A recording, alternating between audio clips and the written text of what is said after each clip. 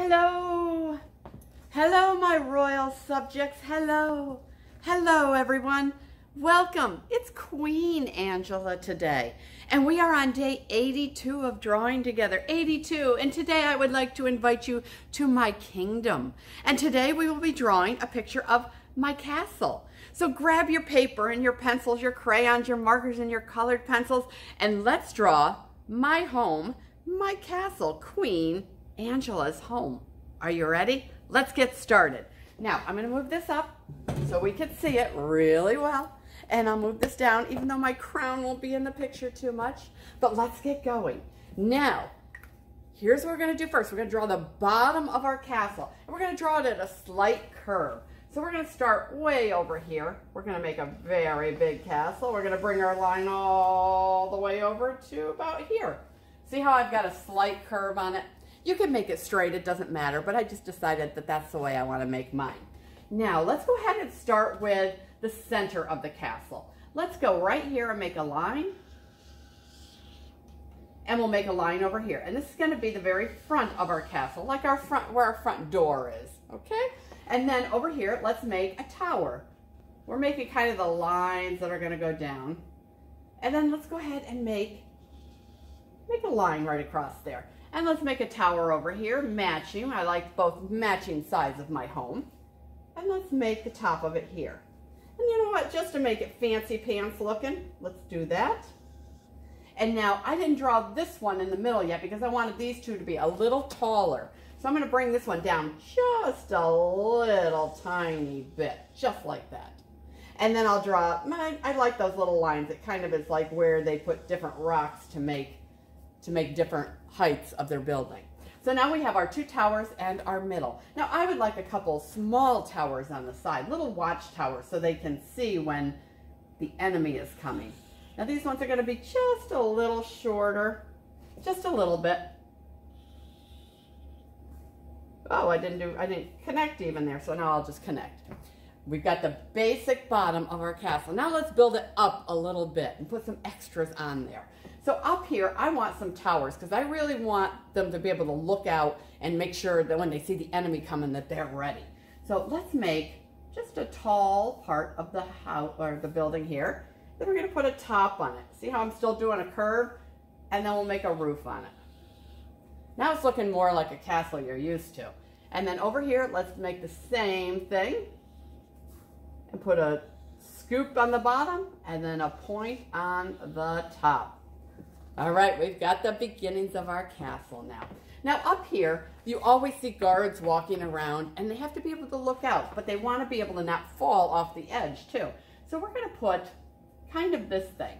It's kind of big blocks that they stand behind and they can also stand behind if they were to shoot bows and arrows kind of thing that they can hide behind these as protection. And then let's go ahead and put some more over here, maybe some smaller ones. That little one didn't really fit in there. And let's go do a couple more over here. All right, we've got our tower. Now let's put some windows on there. Now if you've ever seen a castle, the windows are always up really high. Like when we're in our house, we can look right out of our, our downstairs windows. But they didn't put windows down very low because enemies could get in through their windows. So they didn't want windows really low in their castle. They kept them really high so nobody could sneak in. So let's put Let's put some, well, first of all, let's put them right up here. And we're going to put a curve on the top of them. We're not going to make them like our windows. Or some people might have these windows. I shouldn't say that. So we're going to put a curve and then a bottom on it. And then let's put another window right here, kind of high up. Notice nobody could get in down there. We'll put a matching one over here. And then we will put, let's put some really tiny ones over here, little skinny ones that they could just kind of peek out of. How do you like those ones? Little tiny. Another little, two little tiny ones over here. And I'm even gonna put a couple right here. So they can be all over the castle, any place, and see out the windows. Now you got to think about how are they getting in that? Now they usually only had one or two ways to get into a castle because they didn't want their enemies to sneak in. So we're going to put a very, very big door here. And the reason it is a big door well, let's draw the door first, then I'll tell you. And then let's put, we did this the other day, we put some lines, we're gonna make it look like wood, and then we're gonna put those almost like knot holes in wood. You put just squiggly lines, a little few little circles, and then it gives the illusion that it is wood. Now, the reason they did those big doors is because usually around their castle they have something called a moat. And a moat is water. Sometimes in that water they had some nasty animals that you wouldn't want to mess with. Not at all. But here's how they got in their building. Their door didn't open like ours that goes like this. Their door went down. And when their door came down, it went right across the moat. So it was like a bridge. So this door came forward and went over the ground or over the water, and then they could bring the horses or whatever they needed in. And then they'd shut the door back up. And so they were, it was a fortress, something very like safe for them. All right, now I think our, I think we pretty much got this in order. Let's give it some grass here. We'll put a pretend line across and grass. And then we'll put a couple hills. But before we do the hills, I want to show you something, something kind of tricky. How to make it look like, you know those, um, they're like a triangle flag, and when they blow in the breeze, they, they look kind of wrinkly. Here's how you do that. You're going to put a square. See how I made a square just like that? Now I'm going to make another square just a little tiny bit behind it. And a little bit lower, just like that. Do you see how it is? I have a big square here and another square kind of behind it. And then I'm going to put a point on it. And it is going to look like a flag that is blowing in the breeze. So let's put another one of those flags over here. And a lot of times they hunt, they put flags up that would show their colors or so if somebody coming up from far away, they could look and see the flag and they would know if it was who lived there. You know, it's kind of like a, like a, uh, you know, it tells people if you're enemy or if you're a friend, you know, what kind of flag you are flying. Kind of like those pirates we've been doing. I'd stay away from those pirate flags. All right, I think we have got this. Now let's go ahead and the first thing we're going to do is I'm just going to go ahead and draw. Oh, you know what I forgot before I put that marker away? I said we were going to make hills and I didn't make any hills before I put it away. We're just going to make a big hill back here. There we go. Now we got it. Now I can put that away. Let's go ahead and do, I'm going to do my door brown first. I don't know why I chose to do the door brown first, but I just, just want to. All right. So my home, my little castle. And then we're to go ahead and I'm going to do the windows in black. I'm just going to kind of sloppily fill them in black. You're going to take a lot more time with it. Now, when you're drawing your castle, you can do anything with it. You could put any extras on here you want. Remember, use your imagination. I just give you the basics and then you make it better. You could put a dragon coming into this. You could put a little a princess in the tower. Um, you could put knights. You could put horses. You could put an alligator in this moat if you'd like to. You do what you want to. You make sure it's a lot of fun and add all the extras in here. You could have a whole battle going on out here if you want to. Be creative. Be creative. Use that imagination you have. Now, let's go ahead. I'm going to draw my castle in gray just because I just think gray would be a good color. And you know, you know what? I'm going to jump back for a minute. If you want your castle to look like stone, like it's made out of stone, you can make just like this, kind of not, just kind of a squiggly, kind of half circly thing. And you can put that all over, and you don't have to put them all together. You don't have to put every stone that it took to build it, but you can put these in there, and then it looks like your castle is made out of stone, which all castles were made out of stone because that was a material they could get a hold of very easily. I should have put this on here earlier, but as I was starting to color, I thought, oh, I didn't put the stone on there. All right, so now we have it that looks more like stone. So let's continue drawing now. We can draw right over our stone, but at least it will give you the illusion of what our castle is made out of. There's going to be a lot of gray on here. You're going to be coloring gray for a while. Going to get up here in all these little spots. There we go.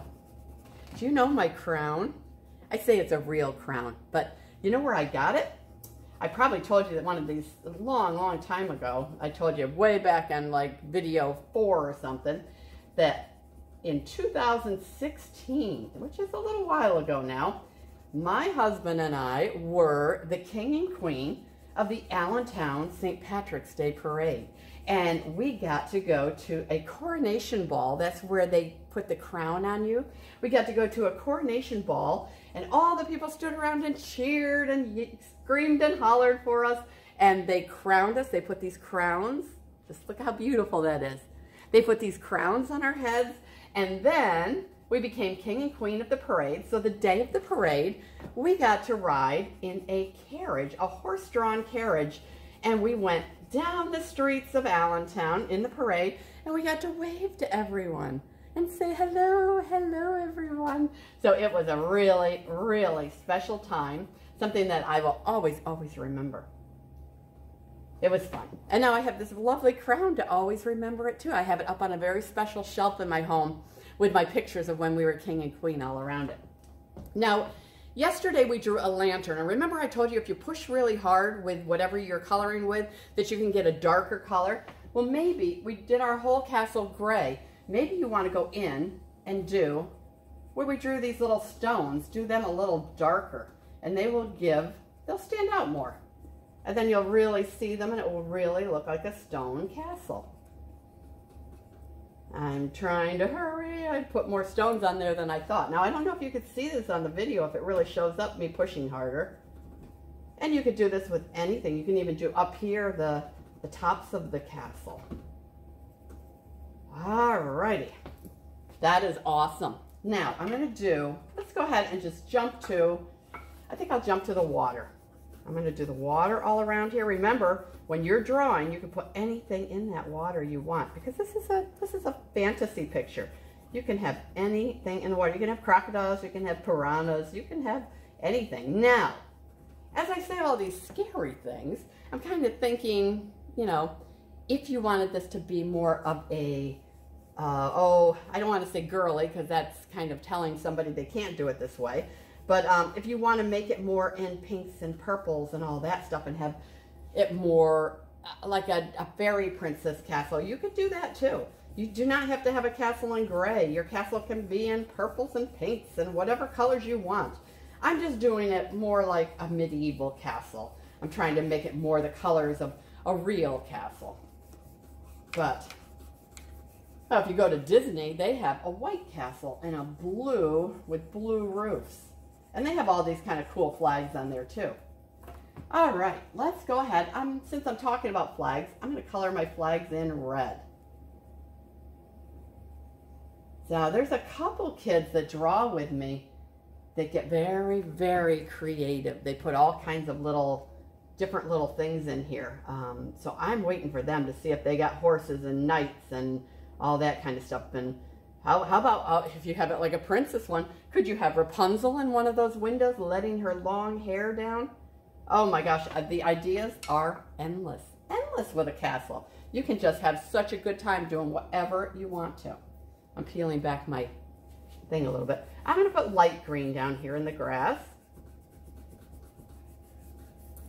And I'm to get sloppy and just try to get this done because this is a lot of grass. Hopefully you guys have a little smaller piece of paper so it doesn't, you know, doesn't take you as long. This paper is so big but I like it to be big so everybody can see what I'm doing. All right, and then I'm gonna take a darker green and I'm gonna do the top of the hills. Oh my goodness, I should have peeled it and just done it sideways. It would have been faster. But you get the idea. I'm painting the hill green. You're, you're gonna go a lot better. I think I've been saying this for 80, 80 what? 82 days, 82 days I've been saying, oh, you draw better than me, draw better than me, color better than me. But that's okay. Because most of the time when you send me the pictures, your coloring is beautiful. I'm like, oh, wow, they, they look better than mine. I like it. I like it. I'm going to color in between here. Now, if you want, you could also put some trees in here if you want to someplace. Now, usually they did not have trees right around their castle. They cleared all the ground around their castle. So that way, again, so the enemies couldn't climb in a tree and come up and join them or surprise them in the middle of the night. They tried to keep everything around their castle very clear so that way they could see anything that might be dangerous for them. It must have been a very hard time to live because everything, you always had to watch out for your enemies. All right. Oh, my arm's tired. Whew.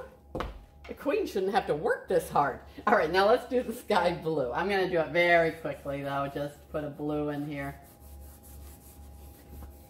oh, excuse me.